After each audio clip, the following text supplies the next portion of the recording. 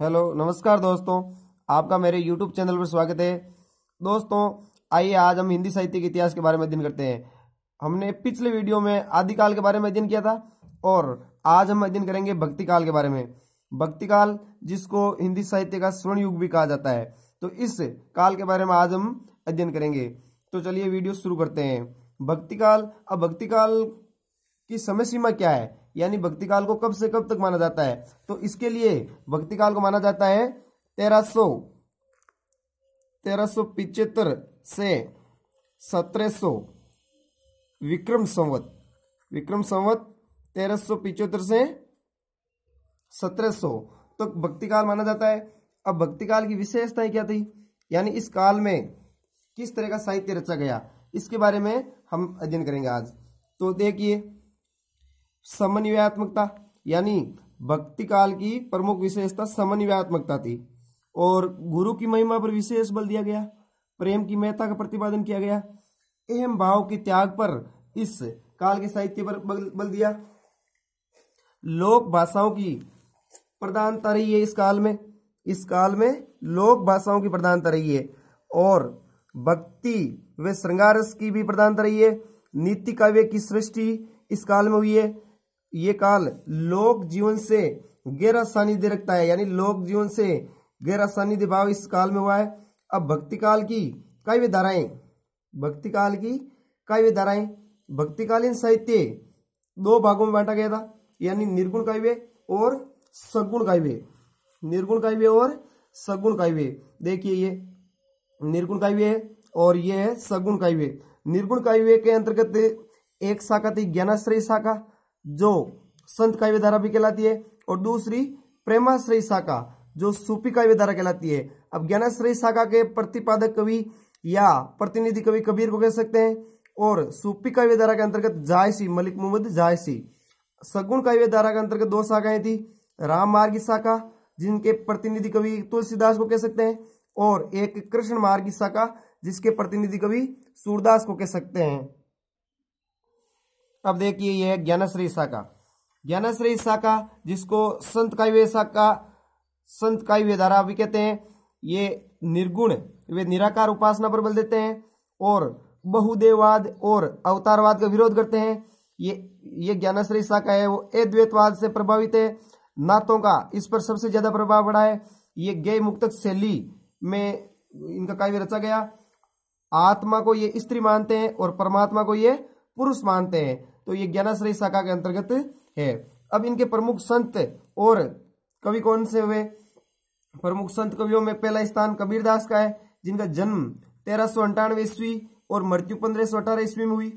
इनके गुरु रामानंद थे और मुस्लिम पंथी भी इनको कबीर को अपना मानते हैं तो वो इसका गुरु बताते हैं, शेख तकी को। मुस्लिम पंथी शेख तकी को गुरु मानते हैं। कबीर की रचनाओं का संपादन उनके शिष्य धर्मदास ने बीजक बीजक नाम से किया। अब बीजक के अलग अलग भाग है, साकी, सबद और रमेनी। ये बीजक के भाग है और कबीर की भाषा, कबीर की भाषा को सदुगड़ी, जो आचार्य रामचंद्र शुक्ल ने कहा है। और ज्ञान कांड के समर्थक थे कबीर। कबीर मूर्ति पूजा के विरोधी थे और कबीर की भाषा को पंचमेल खींचड़ी भी कहा है। अब पंचमेल खींचड़ी किसने कहा? श्याम सुंदर दास ने। और कबीर को वाणी के डिक्टेटर कहा हजारी प्रसाद द्विवेदी ने। हजारी प्रसाद द्विवेदी ने कबीर को वाणी का डिक्टेटर कहा है। अब देखिए, कबीर के बाद में है नामदेव। नामदेव का जन्म 1270 ईस्वी को महाराष्ट्र में हुआ और मृत्यु 1350 ईस्वी में हुई। ये संत काव्य के प्रवर्तक कवि कहे जाते हैं, संत काव्य के प्रवर्तक। और ये बारकरी संप्रदाय के प्रवर्तक रहे हैं और नामदेव के अभंग प्रसिद्ध है, ठीक है? और इसके बाद में रेदास।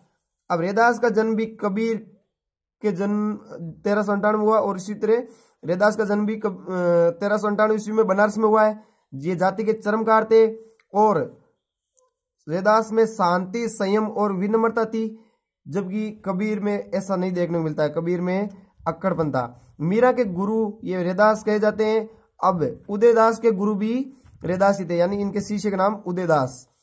और इनके बाद में नानक देव नानक देव का जन्म हुआ है चौदह सौ उनहत्तर ईस्वी, और तलवंडी पाकिस्तान में। पुत्र का नाम इनके श्रीचंद और लक्ष्मीचंद था। अब श्रीचंद, जो आगे चल करके उदासी संप्रदाय के प्रवर्तक बने और इनके शिष्य का नाम, यानी किन के शिष्य का? नानक देव के। नानक देव के शिष्य का नाम मर्दाना था और जप्पू जी जो नानक दर्शन का मूल संग्रह है जप्पू जी और इनका नानक देव का अन्य प्रसिद्ध ग्रंथ है नसीहतनामा नसीहतनामा नानक देव का प्रसिद्ध ग्रंथ है। नानक के बाद में सुंदरदास। सुंदरदास का जन्म पंद्रह छियानवे ईस्वी दोसा। पंद्रह छियानवे ईस्वी दोसा राजस्थान में हुआ। ये दादू दयाल के शिष्य थे और सर्वाधिक, यानी दादू पंथियों में सर्वाधिक विद्वान और पंडित कवि थे और श्रृंगार रस के घोर विरोधी थे। यानी ये श्रृंगार रस का विरोध करते थे। काव्य का भाव पक्ष, व कला पक्ष, दोनों सशक्त, इनके काव्य का, सुंदरदास के काव्य का। और इनके ग्रंथ है ज्ञान, समुद्र और सुंदर विलास।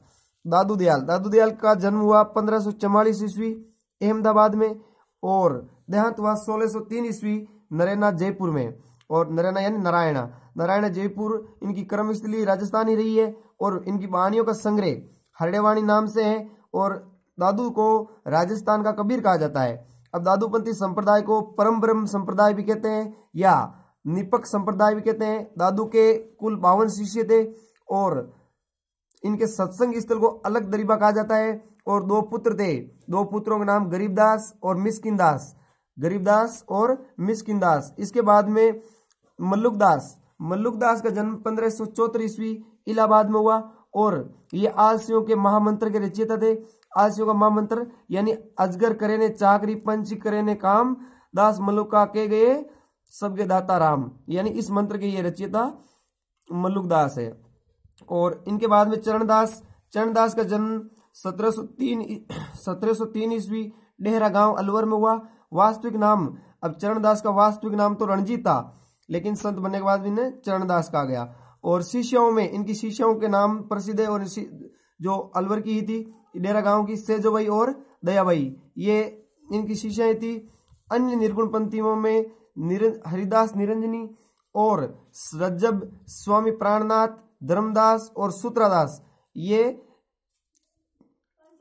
अन्य निर्गुण पंथी हुए।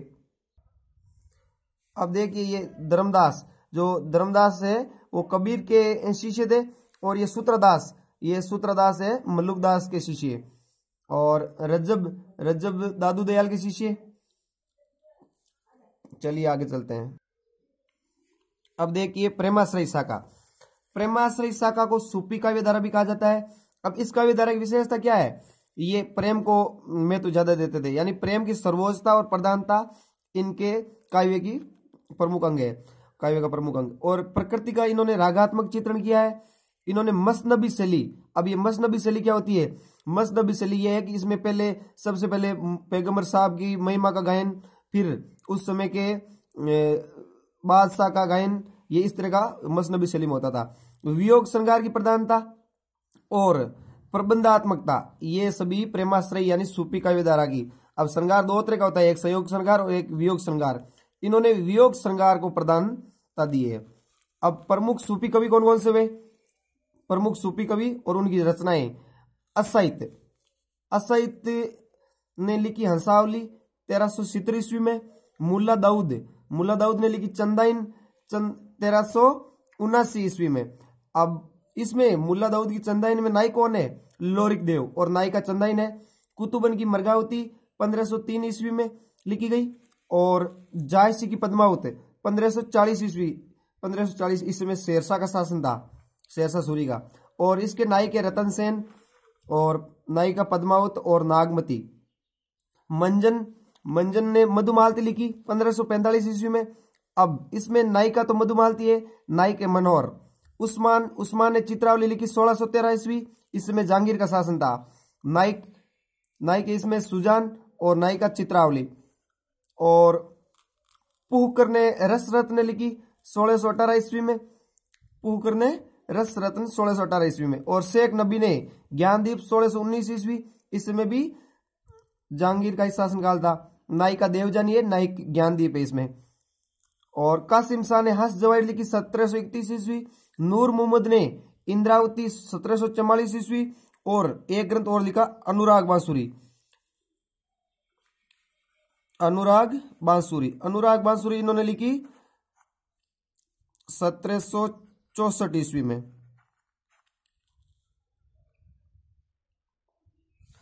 सूपी काव्य धारा में मलिक मोहम्मद जायसी को प्रतिनिधि कवि कहा जाता है। अब इनके प्रमुख ग्रंथ कौन कौन से हैं? मलिक मोहम्मद जायसी के। मलिक मोहम्मद जायसी के प्रमुख ग्रंथ है पद्मावत पद्मावत, अखरावट और आखिरी कलाम। पद्मावत, अखरावट, आखिरी कलाम, अन्य ग्रंथों में इनके कहरनामा, चित्ररेखा कनावत पद्मावत में सात अर्दालियों पर एक दोहा है। सात सात अर्दालियों के बाद में एक दोहा पद्मावत में पद्मावत में अलग अलग प्रतीक माना गया जैसे चित्तौड़ को तन का प्रतीक माना गया है, राजा रतन सेन को मन का प्रतीक माना गया है, सिंगलगढ़ को हृदय का और पद्मावती को बुद्धि का सुआ गुरु है और नागमती दुनिया धंधा का प्रतीक है, राघव चेतन शैतान का प्रतीक है, अलाउद्दीन खिलजी माया का प्रतीक है और पद्मावत में कुल कितने खंड है? सत्तावन। सत्तावन में तीसवा है वो नागमती वियोग खंड है। पद्मावत में बारह मासा बारह मासा आषाढ़ मास से शुरू होता है। जायसी प्रेम की वेदना के कवि कहे जाते हैं। ये किसने कहा? आचार्य रामचंद्र शुक्ल ने। पद्मावत, हिंदी साहित्य का एक जगमगाता रत्न है। ये भी आचार्य रामचंद्र शुक्ल ने कहा। अब जायसी के गुरु सैयद अशरफ जहांगीर और शेख मोहिदी। शेख मोहिदी जॉर्ज ग्रेसन ने कहा है कि भाई शेख मोहिदी जायसी के गुरु है। अखरावट में देवनागरी वर्णमाला की सुपी सिद्धांतों के अनुसार व्याख्या की गई है। यानी अखरावट जो जायसी का प्रमुख ग्रंथ है। इसमें देवनागरी वर्णमाला के सुपी सिद्धांतों के अनुसार व्याख्या की गई है। और पहली सुपी रचना अब अलग अलग अलग अलग विद्वानों ने, साहित्यकारों ने अलग अलग रचना को पहली सुपी रचना माना। जैसे रामचंद्र शुक्ल ने कुतुबन की मर्गावती को पहली सुपी रचना माना है। हजारी प्रसाद द्विवेदी ने ईश्वरदास की सत्यवती कथा को सुपी रचना माना है। राम कुमार वर्मा ने मुल्ला दाऊद की चंदाइन को मुल्ला दाऊद की चंदा इनको पहली सूफी रचना माना है। तो दोस्तों, ये भक्ति काल के बारे में हमने पढ़ा है। अगर आपको ये वीडियो अच्छा लगा है तो लाइक, शेयर और सब्सक्राइब ज़रूर करें। धन्यवाद।